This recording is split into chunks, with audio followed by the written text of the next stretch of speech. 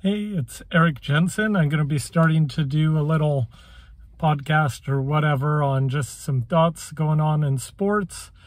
Um, so, with the Olympics over, I wanted to say a few things on those, as those are some of my favorite things. Only happens once every four or five years, so I do I appreciate them a lot. And man, the the 400 meter hurdles races, both uh, men's and women's those were good races. Those were intense and close and breaking world records. Good stuff. And uh, so props to to those athletes. That, that guy from Norway in the men's 400 hurdles, amazing. Um, and Rai Benjamin for the U.S. Kitten silver was pretty amazing too. But uh, the biggest story coming from the Olympics, of course, was Simone Biles. Um, dropping out of the gymnastics routine. I'm sure everyone has heard every opinion on good, bad, whatever with that. Uh, but I'll throw in my two cents because, uh, well, my opinion is, uh, is the right one. So you can listen to it. Um, do I think that it's bad that she quit? uh, I don't know if she was going to get injured or whatnot doing it. I, I obviously am not a gymnast. I don't know what the twisties are. Um, so it could be smart, uh, I guess, to, to, um, step out uh, and not risk injury. Uh, I wouldn't uh, fault anyone for doing that. I mean, you even saw that in the in the marathon at the end of the Olympics. There were people that, you know, it was too hot, too humid, their bodies weren't going to take it, so they dropped out. Now, the thing I want to get at is it's probably not a heroic thing. That's what a lot of people have, were saying that, oh, she was heroic for stepping out because it brings, you know, it brings uh, you know the light on mental issues and that sort of stuff. And that's where i'm going to have to disagree a little bit. I don't see how quitting uh, is is a heroic thing. It may be a necessary thing and like i said before it could be the smart thing to do but it's not a heroic thing. And uh, and i don't think we should praise athletes for doing that. The, the heroic things are when we think of someone that fights through that. You think of Brett Favre, you know, playing the day after his dad died. Uh, or, you know, Ronnie Lott, you know, cutting off the finger and, and, uh, you know, getting back out there and playing anyways. Or in the realm of gymnastics, uh, I can't remember her name off the top of my head, but the, the girl in, um, in 96 who didn't need to, uh, it turned out, but still went and jumped with like a broken ankle to win the gold medal for her team. You know, that's a heroic thing because you're putting your teammates uh, first, you're putting your body on the line uh, to accomplish something great. Uh, now, is it always the smart thing? No, but that's why it's heroic when someone is able to overcome that and and do good. So, you know, I would have more respect, especially since it's a team thing that that Simone Biles, you know, quit. That I would have had more respect for her, I think, if she tried her best and flopped and failed. Uh, you know, that could happen, and I would have more respect for her if she did that. Not saying that she didn't do the you know wrong thing for her again, but I don't think it was heroic. I don't think we should praise her for it. Uh, it's yeah. Anyways, those are.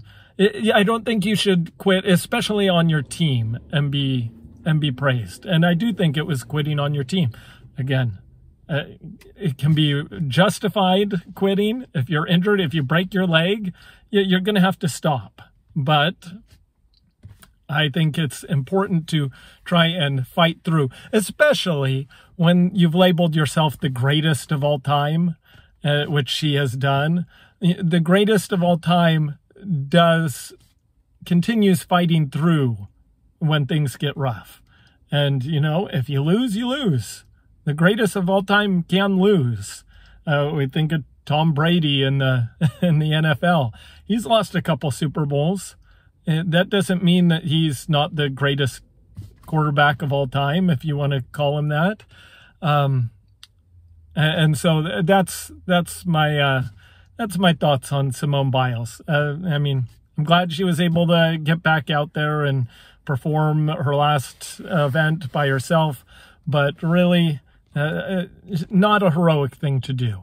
Much more heroic is to do your best, win or lose, uh, put your body on the line. That's what sports heroes do. Uh, Michael Jordan flu game, for example, and, and just throwing that out there again. Uh, you know, was it smart to do that? Probably not. But that's what you do when, or when you know when when people are relying on you and when uh, when sports heroism is on the line. You you ignore your body and you do what needs to be done to do your best. Anyways, um, I I know the Olympic ratings were down, but I thoroughly enjoyed them. I love them every every year. I'm glad the U.S. was able to overtake. Uh, China there at the end and the gold medal count. Uh, go USA. Even though I've got a Sweden jersey on. but um, uh, the other thing I wanted to just briefly mention and talk about is with uh, Texas um, big college football. We'll talk a lot about college football in here.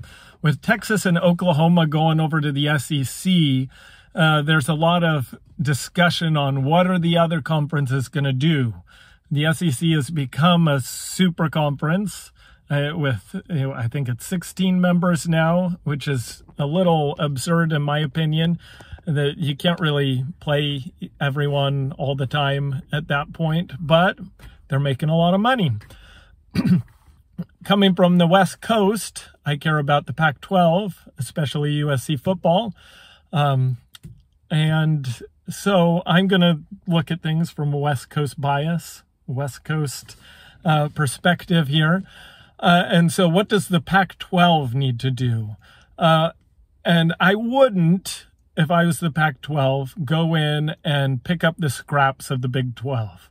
Uh, as much as good as Kansas is in basketball, it's not going to give you much uh, if you get them. You're not going to make a whole lot more money on a TV deal It's way far out there. Uh, they're not that good. In fact, they're awful at football. And so I wouldn't. Um, and then everyone else in the Big 12, I mean, you can get some Texas schools, Baylor, Texas Tech, just not worth it. Not not worth it. They don't bring enough to the table. Uh, in fact, I would rather stay out west if we were going to expand and get a Boise State or a BYU or or, or uh, San Diego State or something like that. Now, having said that, I wouldn't grab any of those either. I think the smartest thing that the Pac 12 could do is try and make an alliance on the TV deal with the Big Ten. And not per se join conferences completely, but merge merge somewhat in the TV deals and make an arrangement where you're playing each other, uh, like one game a season at least. Uh, is is that and then have a instead of a stupid you know big 10 or pac 12 championship game get the regular season champs and uh, and then play a you know a semi rose bowl uh, you know big 10 pac 12 uh, uh, the traditional way as it always has been for the uh, you know for the Big 10 Pac-12 champ. I think if you can get a TV deal between those two conferences which have high academic standards, they're they're the tops in the West, tops in the Midwest. Um, I think you could match SEC numbers. Uh, in fact, surpass SEC numbers with those two conferences together and then you know you would have to divide it up between everyone with the dividing up i would strongly encourage the big ten to drop rutgers and maryland too let them go to the acc or who knows what i, I think i would want the big ten to drop back down to uh, to 12 teams. And then you have 12 in the Pac 12, 12 in the Big Ten. Have, have conference games um, interchanged at least once or twice a season. Share the money on the TV deals. You you would make so much money on that, and I think that is the smartest thing to do rather than trying to grab you know leftovers or if you're the Big 10 trying to grab California schools and then you're you know gra- you know have, having uh, Ohio State go out to USC or UCLA or Stanford on a you know women's soccer trip I, it just doesn't doesn't make sense but I think one game two games a year yeah you could do that you could manage that anyways that's uh that's my two cents on what the Pac 12 should do. Try and find a way to merge with the Big Ten uh, on a TV right deal, and then um, and then keep it, you know, the Pac 12, just those 12 teams. There's no need to pick up junk. That's not going to help you. And uh, and USC, uh, which we're always going to talk about here, fight on. Um, USC needs to be the driver of any of these conversations. They're the most powerful program out west. Even uh, even though Oregon has the Nike money, USC needs to be the one that's driving things. And I think with the new athletic director, uh, I think he will be willing to do it. I'm not sure about everyone else in the leadership at uh, USC, but I think that that uh, the athletic, athletic director now, uh, I think we're moving in the right position. Make USC the power. Flex our muscles. Do what Texas and Oklahoma did to the Big 12 the entire time. It was their conference. They could do whatever they wanted, and no one could say anything because they ran the conference. And, you know, then they left.